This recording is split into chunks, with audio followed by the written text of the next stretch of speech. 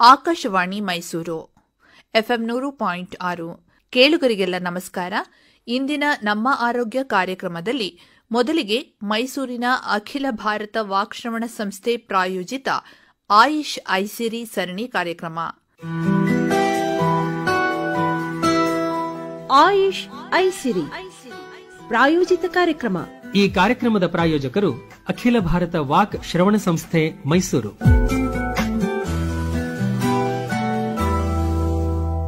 ಮೈಸೂರಿನ ಅಖಿಲ ಭಾರತ ವಾಕ್ಶ್ರವಣ ಸಂಸ್ಥೆ ಕುಂಠಿತವಾಗಿರುವ ಮಾತಿನ ಬೆಳವಣಿಗೆ ಮೊದಲು ಉಚ್ಚಾರಣಾ ದೋಷ ಲಕ್ವ ಹೊಡೆದು ಮಾತು ಕಳೆದುಕೊಂಡಿರುವುದು ಧ್ವನಿಯ ದೋಷಗಳು. ಸೀಳು ತುಟಿ ಹಾಗೂ ಅಂಗಳು ಕಿವಿ ಸೋರುವಿಕೆ ಕಿವಿ ಕೇಳದಿರುವುದು ಹೀಗೆ ಸಮಸ್ಯೆ ಏನೇ ಇರಲಿ ಪರಿಹಾರ ಈ ಸಂಸ್ಥೆಯಲ್ಲಿದೆ. ಹಿಂದೆ ಸಂಪರ್ಕಿಸಿ ಅಖಿಲ ಭಾರತ ವಾಕ್ಶ್ರವಣ ಸಂಸ್ಥೆ ಮಾನಸ ಗಂಗೋತ್ರಿ ಮೈಸೂರು. ದೂರವಾಣಿ ಸಂಖ್ಯೆ ಸೊನ್ನೆ ಎಂಟು ಎರಡು ಒಂದು ಎರಡು ಐದು ಸೊನ್ನೆ ಎರಡು ಒಂದು ಸೊನ್ನೆ ಒಂಬತ್ತು. Email director at AYUSH Mysuru dot in. ಇಂದಿನ ಆಯುಷ್ ಐಸಿರಿ ಸರಣಿ ಕಾರ್ಯಕ್ರಮದಲ್ಲಿ ಶ್ರವಣೋಪಕರಣಗಳು ಮತ್ತು ಕಾಕ್ಲಿಯರ್ ಇಂಪ್ಲಾಂಟ್ ಕುರಿತು ಮೈಸೂರಿನ ಅಖಿಲ ಭಾರತ ವಾಕ್ಶ್ರವಣ ಸಂಸ್ಥೆಯ ಶ್ರವಣ ವಿಜ್ಞಾನ ಪ್ರಾಧ್ಯಾಪಕರಾದ ಡಾ ಪಿ ಮಂಜುಳಾ ಅವರೊಂದಿಗೆ ಮಾತುಕತೆ ಕೇಳುವಿರಿ. ಕೇಳುವಿರಿಗೆಲ್ಲ ನಮಸ್ಕಾರ. ಆಯುಷ್ ಐಸಿರಿ ಸರಣಿ ಕಾರ್ಯಕ್ರಮಕ್ಕೆ ಸುಸ್ವಾಗತ. ಕೇಳುಗರೆ, ಅನೇಕ ಕಡೆ ನಾವು ಕೇಳುವಿಕೆಗಾಗಿ ಹಲವಾರು ಉಪಕರಣಗಳನ್ನು ಬಳಸೋದನ್ನ ನೋಡಿರ್ತೀರಿ.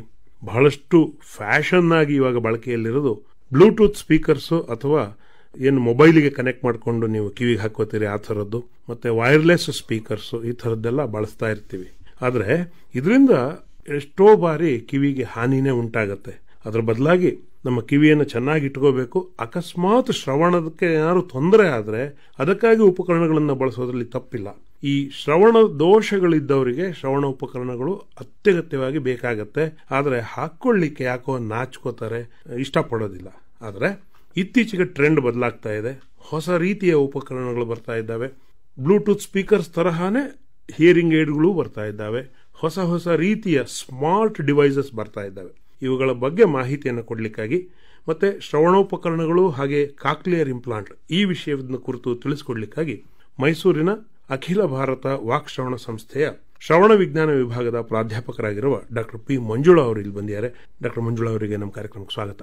ಧನ್ಯವಾದಗಳು. ಡಾಕ್ಟರ್ ಮಂಜುಳಾ ಅವರೇ ಅನೇಕರು ಶ್ರವಣದ ತೊಂದರೆಯನ್ನು ಅನುಭವಿಸ್ತಾ ಇರೋರಿಗೆ ತಾವು ಶ್ರವಣೋಪಕರಣ ಬಳಸಿ ಅಂತ ಹೇಳಿ ಅಡ್ವೈಸ್ ಮಾಡ್ತೀರಿ. ಆದರೆ ಹಾಕೊಳ್ಳಿಕ್ಕೆ ಯಾಕೋ ಮುಜುಗರ ಪಡ್ತಾರೆ. ಎಲ್ಲ ವಯಸ್ಸಿನವರು ಚಿಕ್ಕವರು ದೊಡ್ಡವರು ಅಥವಾ ಯಜಮಾನರು ಬಹಳಷ್ಟು ಬಾರಿ ಹೆಣ್ಮಕ್ಳಂತೂ ಹಾಕೊಳ್ಳಿಕ್ಕೆ ಅವರು ಇಷ್ಟನೇ ಪಡೋದಿಲ್ಲ. ಆದರೆ ಈ ಶ್ರವಣೋಪಕರಣ ಬಳಸೋದ್ರಿಂದ ಅವರಿಗೆ ಕಿವಿ ಕೇಳಿಸೋದು ಸ್ಪಷ್ಟವಾಗುತ್ತೆ ಅರ್ಥ ಮಾಡ್ಕೊಳ್ಳಿಕ್ಕೆ ಸಹಾಯ ಆಗತ್ತೆ ಮತ್ತೆ ಸಂವಹನಕ್ಕೆ ತುಂಬಾ ಸಹಕಾರಿಯಾಗತ್ತೆ ಇತ್ತೀಚಿನ ಹೊಸ ಬೆಳವಣಿಗೆ ಏನು ಈ ಶ್ರವಣೋಪಕರಣಗಳಲ್ಲಿ ಇವಾಗ ನೀವು ಹೇಳ್ದಂಗೆ ಕಿವಿ ತೊಂದರೆ ಇರೋರಿಗೆ ಶ್ರವಣೋಪಕರಣ ನಾವು ಅಡ್ವೈಸ್ ಮಾಡ್ತೀವಿ. ಅದರಲ್ಲೂ ನಾವು ಎಲ್ಲಾ ಕಿವಿ ತೊಂದರೆ ಇರೋರಿಗೆ ಕೊಡೋದಿಲ್ಲ. ಕಿವಿನಲ್ಲಿ ಮೂರು ಭಾಗಗಳಿದೆ. ಹೊರ ಕಿವಿ, ಮಧ್ಯ ಕಿವಿ, ಒಳ ಕಿವಿ ಅಂತ. ಹೊರ ಕಿವಿ ಮತ್ತೆ ಮಧ್ಯ ಕಿವಿಲಿ ಏನಾದ್ರು ತೊಂದರೆ ಇದ್ದಾಗ ಅದನ್ನ ಮೆಡಿಸಿನ್ಸ್ ಅಥವಾ ಸರ್ಜರಿಯಿಂದ ನಾವು ಕ್ಯೂರ್ ಮಾಡಬಹುದು ಸಾಧ್ಯತೆಗಳಿವೆ. ಸೊ ಅಂತವ್ರಿಗೆ ನಾವು ಇ ಎನ್ ಟಿ ಡಾಕ್ಟರ್ಸ್ ಹತ್ರ ರೆಫರ್ ಮಾಡ್ಬಿಟ್ಟು ಅವ್ರ ಹತ್ರ ಟ್ರೀಟ್ಮೆಂಟ್ ತಗೊಳ್ಳೋದಕ್ಕೆ ಸಜೆಸ್ಟ್ ಮಾಡ್ತೇವೆ. ಅದೇ ರೀತಿ ಒಳಗಡೆ ಭಾಗದಲ್ಲಿ ಕಿವಿ ತೊಂದರೆ ಇದ್ದಾಗ ಆವಾಗ ಪರ್ಮನೆಂಟ್ ಹಿಯರಿಂಗ್ ಪ್ರಾಬ್ಲಮ್ ಅಂತ ಹೇಳ್ತೀವಿ. ಅಂತ ಸಂದರ್ಭದಲ್ಲಿ ನಾವು ಹಿಯರಿಂಗ್ ಏಟ್ ಕೊಡಬೇಕಾಗತ್ತೆ. ಸೊ ಅಂತವ್ರಿಗೆ ಮೆಡಿಸಿನ್ಸ್ ಇಂದ ಸರ್ಜರಿಯಿಂದ ಉಪಯೋಗ ಆಗಲ್ಲ. ಸೊ ಇವಾಗ ನೀವು ಹೇಳ್ದಂಗೆ ಕೆಲವರು ಆಕ್ಸೆಪ್ಟ್ ಮಾಡ್ಕೊಳ್ಳೋದಿಲ್ಲ. ನಮ್ಗೆ ಹಿಯರಿಂಗ್ ಏಡ್ ಹಾಕೊಂಡ್ರೆ ಎಲ್ಲರೂ ಅದನ್ನೇ ನೋಡ್ತಾರೆ. ನಮಗ್ ಬೇಡ ಅದು ಅಂತ ಹೇಳ್ತಾರೆ. ದೊಡ್ಡದಿದೆ, ಕಾಣಿಸುತ್ತೆ ಅಂತ. ಇವಾಗ ಸಣ್ಣ ಸಣ್ಣ ಹಿಯರಿಂಗ್ ಏಡ್ಸ್ಗಳು ಬಂದಿದೆ. ಈಗೆಲ್ಲ ಡಿಜಿಟಲ್ ಟೆಕ್ನಾಲಜಿ ಆಗಿರೋದ್ರಿಂದ ಡಿಜಿಟಲ್ ಫೀಚರ್ಸ್ ಎಲ್ಲ ಸೇರಿಸ್ಕೊಂಡು ಬ್ಲೂಟೂತ್ ಎನೇಬಲ್ಡ್ ಹಿಯರಿಂಗ್ ಏಡ್ಸ್ ಬರ್ತಾ ಇದೆ ಸ್ಮಾರ್ಟ್ ಹಿಯರಿಂಗ್ ಏಡ್ಸ್ ಬರ್ತಾ ಇದೆ.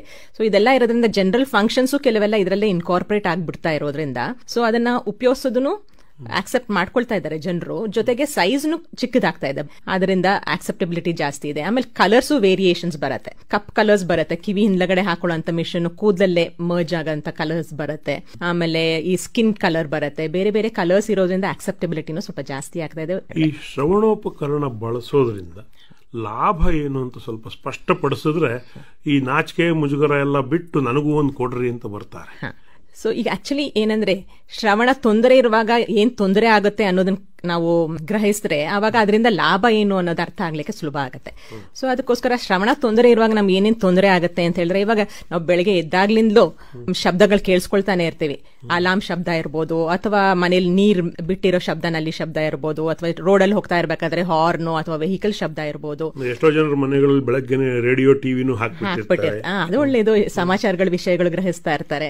ಸೊ ಕೆಲವೆಲ್ಲ ಈ ತರ ಬರೀ ಅಲರ್ಟಿಂಗ್ ಸಿಗ್ನಲ್ಸ್ ಅಂತ ಹೇಳ್ತೀವಿ. ಈಗ ಅಲಾಮ್ ಶಬ್ದ ಆಗ್ಲಿ ಅಥವಾ ಹಾರ್ನ್ ಆಗ್ಲಿ ಅದೆಲ್ಲ ಅಲರ್ಟಿಂಗ್ ಸಿಗ್ನಲ್ಸ್ ಅಂತ. ಇನ್ ಕೆಲವು ನಾವು ಮಾತಾಡೋದ್ರಿಂದ ಒಬ್ರು ಇನ್ಫಾರ್ಮೇಶನ್ ಇನ್ನೊಬ್ರು ಕೊಡೋ ಅಂತ ಸಂದರ್ಭ. ಆ ತರದ್ರಲ್ಲೂ ಕಿವಿ ನಮಗೆ ತುಂಬಾ ಬೇಕಾಗತ್ತೆ. ಆಮೇಲೆ ಚಿಕ್ಕ ಮಕ್ಕಳಲ್ಲಿ ಎಸ್ಪೆಷಲಿ ಅವರು ಮಾತು ಮತ್ತೆ ಭಾಷೆನ ಕಲಿಬೇಕಾದ್ರೆ ಅವ್ರು ಕೇಳಿಸ್ಕೊಂಡೇ ಕಲಿಬೇಕಾಗತ್ತೆ. ಸೊ ಇದೆಲ್ಲದರಲ್ಲೂ ಪ್ರಾಬ್ಲಮ್ ಆಗೋದ್ರಿಂದ, ನಾವು ಹಿಯರಿಂಗ್ ಏಟ್ ಕೊಡೋದ್ರಿಂದ ಈ ಪ್ರಾಬ್ಲಮ್ ಗಳೆಲ್ಲ ಸಾಲ್ವ್ ಆಗುತ್ತೆ. ಇದರಲ್ಲೆಲ್ಲ ಬೆನಿಫಿಟ್ ಇರತ್ತೆ. ಈಗ ಕೆಲವರಿಗೆ ಹೊರಗಡೆಯಿಂದ ಹಾಕ್ತಕ್ಕಂತ ಹಿಯರಿಂಗ್ ಏಡ್ಗಳ ಬಗ್ಗೆ ಅರಿವಿದೆ.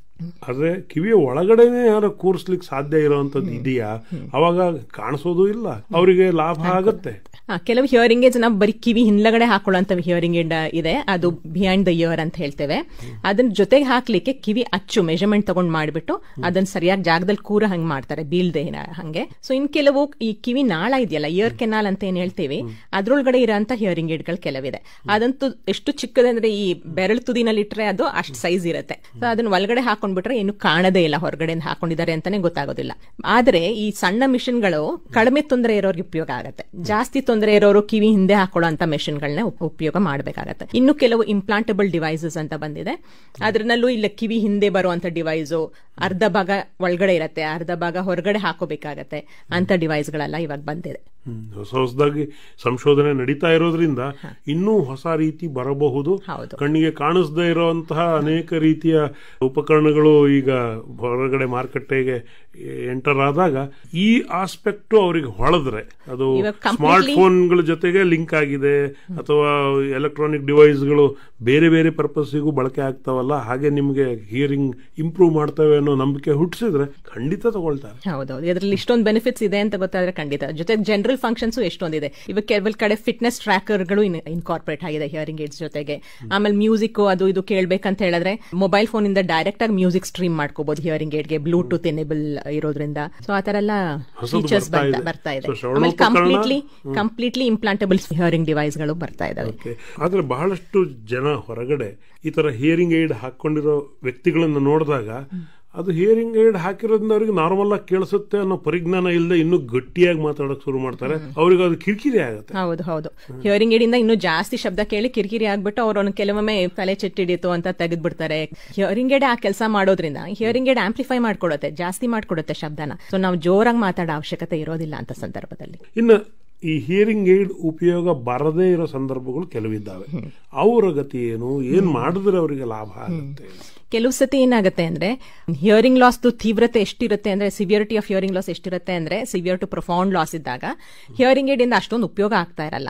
ಅಂತ ಸಂದರ್ಭದಲ್ಲಿ ಅವರಿಗೆ ಕಾಕ್ಲಿಯರ್ ಇಂಪ್ಲಾಂಟ್ ಅಂತ ಒಂದು ಡಿವೈಸ್ ಇದೆ. ಅದನ್ನ ನಾವು ರೆಕಮೆಂಡ್ ಮಾಡ್ತೇವೆ. ಹಿಯರಿಂಗ್ ಏಡ್ ಇಂದನೂ ಉಪಯೋಗ ಆಗ್ತಾ ಇಲ್ಲ ಅನ್ನೋ ಅಂತವ್ರಿಗೆ ಕಾಕ್ಲಿಯರ್ ಇಂಪ್ಲಾಂಟ್ ಅನ್ನೋ ಡಿವೈಸ್ನ ನಾವು ರೆಕಮೆಂಡ್ ಮಾಡ್ತೇವೆ. ಆ ಕಾಕ್ಲಿಯರ್ ಇಂಪ್ಲಾಂಟ್ ಅಂದ್ರೆ ಅದು ಒಂದು ಸಾಧನೆ, ಎರಡು ಭಾಗ ಬರುತ್ತೆ. ಒಂದು ಭಾಗ ಆಪರೇಷನ್ ಮಾಡಿ ಕಿವಿ ಒಳಗಡೆ ಅಲ್ವಾಡಿಸ್ತಾರೆ ಇನ್ನೊಂದು ಭಾಗ ಹಿಯರಿಂಗ್ ಏಡ್ ತರಾನೇ ಹೊರಗಡೆನೂ ಹಾಕೋಬೇಕಾಗತ್ತೆ. ಸೊ ಎರಡು ಭಾಗನೂ ಜೊತೆಲಿ ಕೆಲಸ ಮಾಡೋದ್ರಿಂದ ಕಾಕ್ಲಿಯರ್ ಇಂಪ್ಲಾಂಟ್ ಏನಂದ್ರೆ ಡೈರೆಕ್ಟ್ ಆಗಿ ಕಿವಿ ನರನ ಸ್ಟಿಮ್ಯುಲೇಟ್ ಮಾಡುತ್ತೆ ಎಲೆಕ್ಟ್ರಿಕಲ್ ಸ್ಟಿಮ್ಯುಲೇಟ್ ಮಾಡೋದ್ರಿಂದ ಕಿವಿನ ಬೈಪಾಸ್ ಮಾಡಿ ನರಕ್ ಸ್ಟಿಮ್ಯುಲೇಟ್ ಮಾಡುತ್ತೆ. ಹೆಚ್ಚಿನ ಜನರಲ್ಲಿ ಈ ಸಿವಿಯರ್ ಪ್ರೊಫೌಂಡ್ ಹಿಯರಿಂಗ್ ಲಾಸ್ ಇದ್ದಾಗ ಕಿವಿಯ ನರ ಚೆನ್ನಾಗಿರತ್ತೆ. ಆದ್ರೆ ಕಿವಿ ಡ್ಯಾಮೇಜ್ ಆಗಿರತ್ತೆ. ಸೊ ಅಂತ ಸಂದರ್ಭದಲ್ಲಿ ನಾವು ಡೈರೆಕ್ಟ್ ಆಗಿ ನರಕ್ಕೆ ಸ್ಟಿಮ್ಯುಲೇಟ್ ಮಾಡುವಾಗ ಅವ್ರಿಗೆ ಅದರಿಂದ ಉಪಯೋಗ ಆಗತ್ತೆ. ಈಗ ನೀವು ಕೇಳುವಿಕೆಯನ್ನು ಹೇಗೆ ಗ್ರೇಡ್ ಮಾಡ್ತೀರಿ? ಈಗ ಸಿವಿಯರ್ ಅಥವಾ ಅದಕ್ಕಿಂತ ಜಾಸ್ತಿ ಅಂತ ಹೇಳಿದ್ರಿ ಪ್ರೊಫೌಂಡ್ ಲಾಸ್ ಅಂತ. ಹಾಗಾದ್ರೆ ಕಡಿಮೆ ಲಾಸ್ ಎಷ್ಟಿದೆ ಮಧ್ಯಮ ಲಾಸ್ ಎಷ್ಟು ಲಾಸ್ಟ್ ಹಂತ ಏನು? ಕಡಿಮೆ ಶಬ್ದ ಇವಾಗ ನಾವು ಪಿಸುಗುಟ್ಟೋದು ಅದನ್ನೆಲ್ಲ ಕೇಳಿಸುತ್ತೆ ಅಂತ ಹೇಳಿದ್ರೆ ತುಂಬಾ ನಾರ್ಮಲ್ ಹಿಯರಿಂಗ್ ಅಂತ ಹೇಳ್ಕೋಬಹುದು ನಾವು. ಅದಕ್ಕಿಂತ ಒಂದ್ ಸ್ವಲ್ಪ ಜಾಸ್ತಿ ಶಬ್ದ ಅಂದ್ರೆ ನಾವು ಮೆಲುದನಿಲ್ ಮಾತಾಡೋದನ್ನ ಕೇಳಿಸ್ತಾ ಇಲ್ಲ ಅಂತ ಹೇಳಿದ್ರೆ ಅವಾಗ ಒಂದು ಮೈಲ್ಡ್ ಪ್ರಾಬ್ಲಮ್ ಇದೆ ಅಂತ ಹೇಳ್ತೀವಿ. ಇವಾಗ ಒಂದು ಮೀಟರ್ ದೂರದಿಂದ ನಾನು ಮಾಮೂಲಿಯಾಗಿ ನಾವು ಕಾನ್ವರ್ಸೇಷನ್ ಲೆವೆಲ್ ಅಲ್ಲಿ ಮಾತಾಡಿದ್ರೆ ಅದು ಅವ್ರಿಗೆ ಕೇಳಿಸ್ತಾ ಇಲ್ಲ ಅಂತ ಹೇಳಿದ್ರೆ ಅವ್ರಿಗೊಂದು ಮಾಡರೇಟ್ ಲೆವೆಲ್ ಪ್ರಾಬ್ಲಮ್ ಇರ್ಬೋದು ಅಂತ ಹೇಳ್ತೀವಿ. ಅದೇ ತರ ಸಿವಿಯರ್ ಪ್ರಾಬ್ಲಮ್ ಇರುತ್ತೆ. ನಾವು ಜೋರಾಗಿ ಮಾತಾಡಿದ್ರೆ ಮಾತ್ರ ಕೇಳುತ್ತೆ ಸಿವಿಯರ್ ಪ್ರಾಬ್ಲಮ್ ಈ ತರ ಸಿವಿಯರ್ ಪ್ರೊಫೌಂಡ್ ಆ ತರ ಹೇಳ್ತೀವಿ. Mild moderate moderately severe severe profound ಈ ತರ ಗ್ರೇಡಿಂಗ್ಸ್ ಇರುತ್ತೆ. ಈ ಮೈಲ್ಡ್ ಪ್ರಾಬ್ಲಮ್ ಇಂದ ಮಾಡರೇಟ್ಲಿ ಸಿವಿಯರ್ ಅಥವಾ ಸ್ವಲ್ಪ ಸಿವಿಯರ್ ಮಟ್ಟಿಗೆ ಹೋದ್ರೂ ಹಿಯರಿಂಗ್ ಎಂಡ್ ಇಂದ ಸುಮಾರು ಉಪಯೋಗ ಆಗುತ್ತೆ. ಅಂತವ್ರು ನಾವು ಕಾಕ್ಲಿಯರ್ ಇಂಪ್ಲಾಂಟ್ ಅಡ್ವೈಸೇ ಮಾಡಲ್ಲ. Severe to profound higher degree of hearing loss ಇದ್ದಾಗ ಅವಾಗ ಕಾಕ್ಲಿಯರ್ ಇಂಪ್ಲಾಂಟ್ ರೆಕಮೆಂಡ್ ಮಾಡಬೇಕಾಗತ್ತೆ. ಪ್ರೊವೈಡೆಡ್ ನರಗಳೆಲ್ಲ ಚೆನ್ನಾಗಿ ಕೆಲಸ ಮಾಡ್ತಾ ಇದ್ರೆ. ಅದನ್ನ ನಾವು ರೇಡಿಯೋಲಾಜಿಕಲ್ ಇನ್ವೆಸ್ಟಿಗೇಷನ್ಸ್ ಇಂದ ಗೊತ್ತಾಗುತ್ತೆ. C T M R I scan ಮಾಡಿದಾಗ ನರಗಳು ತರ ಇದೆ ಅನ್ನೋದು ಗೊತ್ತಾಗುತ್ತೆ. ಇದ್ರ ಬಗ್ಗೆ ಎಜುಕೇಟ್ ಮಾಡೋದು ಹೇಗೆ? ಯಾಕೆಂದ್ರೆ ಇದು ಕಾಣಿಸೋಲ್ಲ. ಅವರಿಗೆ ತೊಂದರೆ ಇದೆ ಅನ್ನೋದು ಗೊತ್ತಾಗೋದು ಯಾವಾಗ ಅಂದ್ರೆ ಅವರು ರೆಸ್ಪಾನ್ಸ್ ಹೆಂಗೆ ಮಾಡ್ತಾರೆ ಅನ್ನೋದು ನೋಡಿಕೊಂಡು ಯಾಕೋ ನಾವು ಹೇಳಿದ್ರೆ ಸರಿಯಾಗಿ ಕೇಳಿಸ್ತಾ ಇಲ್ಲೇನೋ ಅಂತ ಹೇಳಿ. ಅದರಲ್ಲೂ ಹಿರಿಯರಲ್ಲಿ ಜಾಸ್ತಿ ಬರುತ್ತೆ.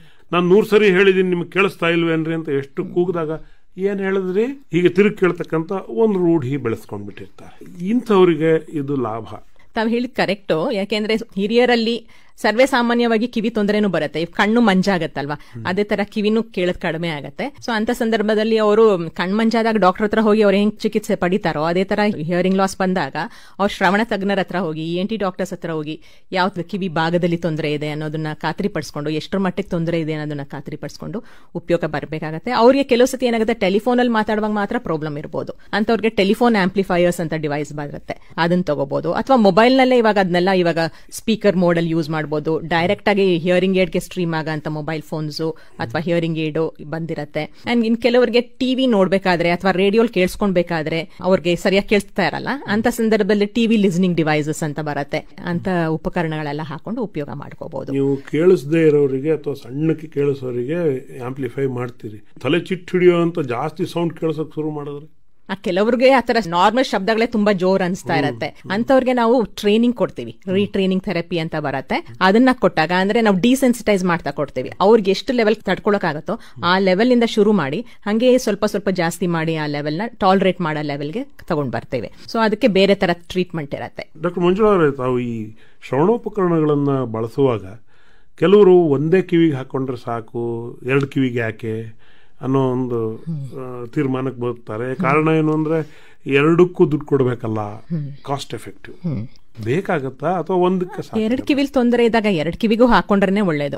ಸೊ ಎರಡು ಕಿವಿದ ಉಪಯೋಗಗಳೇನಂದ್ರೆ ರೋಡಲ್ಲಿ ಹೋಗ್ಬೇಕಾದ್ರೂ ಶಬ್ದಗಳು ಯಾವ ಕಡೆಯಿಂದ ಬರ್ತಾ ಇದೆ ಅಥವಾ ನಮ್ ಮನೇಲೆ ಇರ್ಬೇಕಾದ್ರೂ ಯಾರಾದ್ರೂ ಕೂಗಿದ್ರೆ ಯಾವ ಕಡೆ ನೋಡ್ಬೇಕು ಅನ್ನೋದಕ್ಕೆ. ಆಮೇಲೆ ಸುತ್ತಮುತ್ತಲು ಗದ್ಲ ಎಲ್ಲ ಇರುವಾಗ ಮಾತ್ ಚೆನ್ನಾಗಿ ಅರ್ಥ ಆಗ್ಲಿಕ್ಕೆ ಎರಡ್ ಕಿವಿ ಇದ್ನೇ ಸ್ಟೀರಿಯೋ ಎಫೆಕ್ಟ್ ಎಲ್ಲ ಬಂದು ಚೆನ್ನಾಗಿ ಕೇಳಿಸುತ್ತೆ. ಸೊ ಇಂತ ಅಡ್ವಾಂಟೇಜಸ್ ಎಲ್ಲ ಇರುವಾಗ ಎರಡ್ ಕಿವಿಗೆ ತೊಂದರೆ ಇದ್ದಾಗ ಎರಡ್ ಕಿವಿಗೂ ಹಿಯರಿಂಗ್ ಏಡ್ ಹಾಕೊಂಡ್ರೆ ಉತ್ತಮ. ನಾವ್ ಎಷ್ಟು ದುಡ್ಡು ಕೊಡ್ತೀವೋ ಅದಕ್ಕೆ ಕಾಸ್ಟ್ ಬೆನಿಫಿಟ್ ಇದ್ದೇ ಇರತ್ತೆ. ಈಗ ಈ ಶ್ರವಣೋಪಕರಣಗಳ ಬಳಕೆ ಸಾರ್ವತ್ರಿಕವಾಗಿ ಅಕ್ಸೆಪ್ಟ್ ಮಾಡ್ಕೊಳ್ತಾರೆ. ಆದರೆ ಹೆಚ್ಚಿನ ಎಜುಕೇಶನ್ ಕೊಡೋ ಒಂದು ಜವಾಬ್ದಾರಿ ಇದೆ. ಇದ್ರ ಬಗ್ಗೆ ಜಾಗೃತಿ ಕಾರ್ಯಕ್ರಮಗಳನ್ನು ಏನು ಹಮ್ಮಿಕೊಂಡಿದ್ದೀರಿ? ಈ ಸಂದರ್ಭದಲ್ಲಿ ನಾವು ಬೇರೆ ಬೇರೆ ಟಾರ್ಗೆಟ್ ಗ್ರೂಪ್ಸ್ ಆಗಿಟ್ಕೊಂಡು ಅವರೆಲ್ಲ ಓರಿಯೆಂಟೇಷನ್ ಪ್ರೋಗ್ರಾಮ್ಸ್ ಕೊಡ್ತೇವೆ. ಶಾಲಾ ಶಿಕ್ಷಕರೇ ಆಗಿರ್ಬೋದು ಅಥವಾ ಅಂಗನವಾಡಿ ವರ್ಕರ್ಸ್ ಇರ್ಬೋದು, ಆಶಾ ವರ್ಕರ್ಸ್ ಇರ್ಬೋದು ಇಂಡಸ್ಟ್ರಿಯಲ್ ವರ್ಕರ್ಸ್ ಇರ್ಬೋದು, ಇಂಥವ್ರಿಗೆಲ್ಲ ನಾವು ಓರಿಯೆಂಟೇಷನ್ ಪ್ರೋಗ್ರಾಮ್ಸ್ ಕೊಡ್ತೇವೆ.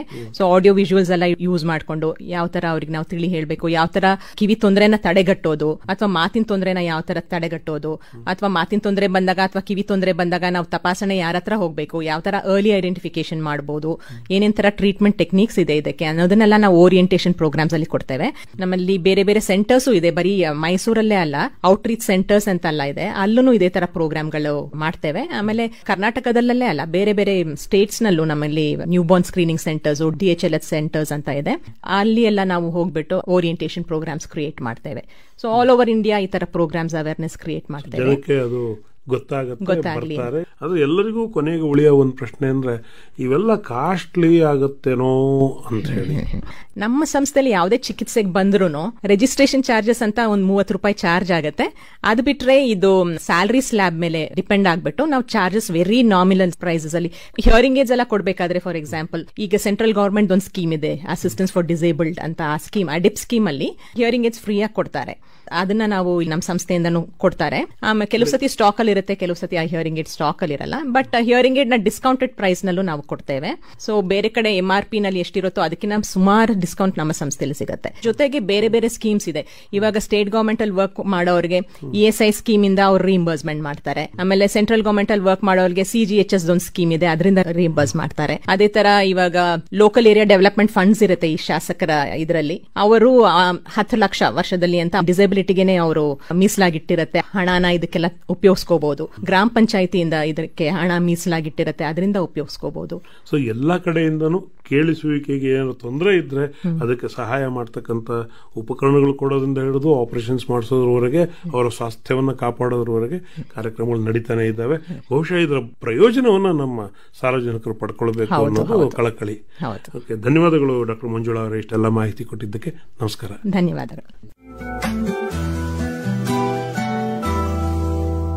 ಇದುವರೆಗೆ ಆಯುಷ್ ಐಸಿರಿ ಸರಣಿ ಕಾರ್ಯಕ್ರಮದಲ್ಲಿ ಶ್ರವಣೋಪಕರಣಗಳು ಮತ್ತು ಕಾಕ್ಲಿಯರ್ ಇಂಪ್ಲಾಂಟ್ ಕುರಿತು ಮೈಸೂರಿನ ಅಖಿಲ ಭಾರತ ವಾಕ್ಶ್ರವಣ ಸಂಸ್ಥೆಯ ಶ್ರವಣ ವಿಜ್ಞಾನ ಪ್ರಾಧ್ಯಾಪಕರಾದ ಡಾಕ್ಟರ್ ಪಿ ಮಂಜುಳಾ ಅವರೊಂದಿಗೆ ಮಾತುಕತೆ ಕೇಳಿದಿರಿ. ಇವರೊಂದಿಗೆ ಭಾಗವಹಿಸಿದ್ದವರು ಬೇದ್ರೆ ಮಂಜುನಾಥ್.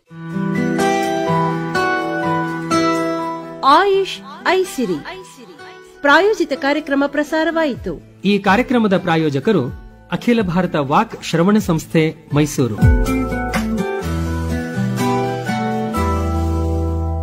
ಮೈಸೂರಿನ ಅಖಿಲ ಭಾರತ ವಾಕ್ಶ್ರವಣ ಸಂಸ್ಥೆ ಭಾರತ ಸರ್ಕಾರದ ಆರೋಗ್ಯ ಮತ್ತು ಕುಟುಂಬ ಕಲ್ಯಾಣ ಇಲಾಖೆಯಡಿ ಕಾರ್ಯನಿರ್ವಹಿಸುತ್ತಿದೆ. ಮಾತು ಭಾಷೆ ಮತ್ತು ಶ್ರವಣ ಸಮಸ್ಯೆಯುಳ್ಳವರ ಪರೀಕ್ಷೆ ಮತ್ತು ಚಿಕಿತ್ಸೆಗಾಗಿ ನಿರಂತರವಾಗಿ ಶ್ರಮಿಸುತ್ತಿರುವ ಅಗ್ರ ಸಂಸ್ಥೆ. ಅತ್ಯಾಧುನಿಕ ಉಪಕರಣಗಳನ್ನು ಉಪಯೋಗಿಸಿ ಪರೀಕ್ಷೆ ಮತ್ತು ಚಿಕಿತ್ಸಾ ಸೌಲಭ್ಯಗಳನ್ನು ಕಲ್ಪಿಸುವಲ್ಲಿ ಈ ಸಂಸ್ಥೆ ಹೆಸರುವಾಸಿಯಾಗಿದೆ. ಸಂಪರ್ಕಿಸಿ ಅಖಿಲ ಭಾರತ ವಾಕ್ಶ್ರವಣ ಸಂಸ್ಥೆ ಮಾನಸ ಗಂಗೋತ್ರಿ ಮೈಸೂರು. ದೂರವಾಣಿ ಸಂಖ್ಯೆ ಸೊನ್ನೆ ಎಂಟು ಎರಡು ಒಂದು, ಎರಡು ಐದು ಸೊನ್ನೆ, ಎರಡು ಒಂದು ಸೊನ್ನೆ ಒಂಬತ್ತು.